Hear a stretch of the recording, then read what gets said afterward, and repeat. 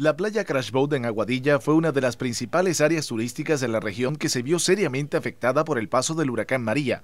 A casi cinco meses del azote del ciclón, es poco lo que se ha logrado hacer en el área, pues se había indicado que sería el cuerpo de ingenieros el que realizaría la reconstrucción de la zona. Sin embargo, han sido los propios pescadores, con ayuda del municipio, los que han llevado a cabo las labores. Nosotros perdimos sobre 40 metros de arena la poquita arena que quedó la tiró para el área del estacionamiento y ahí es donde comenzamos a limpiarla. No podemos esperar, no vienen los vaqueros de la película a ayudar, pues eh, a mano, entre muchos voluntarios, la Asociación de Pescadores, este, logramos limpiar y con un permiso verbal tiramos la arena de nuevo. Y es que la destrucción en la zona se hace evidente al observar parte de la pescadería, estructura que servía para que los obreros de la mar guardaran sus embarcaciones, que actualmente presentan un problema de seguridad. Algunos pescadores indicaron que a pesar de la situación, la playa Crash Boat sigue siendo frecuentada por turistas. Tenemos eh, la pescadería y la cafetería que está en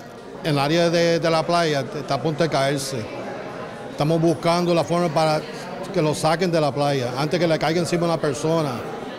Y aparte de eso, eh, pues el turismo, que está un poquito flojo, porque pues, la promoción que da la noticia es que Puerto Rico está molido, y el turismo está llegando, y, pues, Aguadilla ya está funcionando un 100%, tenemos luz, tenemos agua. Eh, tenemos playa, tenemos negocio funcionando. Pero algunos comerciantes de la zona expresaron su decepción con el estado en que se encuentra la playa, pues según dijeron las condiciones actuales han afectado sus negocios, por lo que están esperanzados que durante el verano se puedan ver un incremento en visitantes. Aquí se ha afectado bastante, eh, alguna gente viene, alguna gente no viene. Cuando vienen las personas me dicen que no van a venir para este año porque ha afectado mucho, no, han, este, no hay palmas, no hay mesas pero en sí el alcalde pues ha ayudado y nosotros mismos hemos ayudado también para poder sacar la playa hacia adelante. Cuando vienen los americanos se llena bastante y ya ha bajado.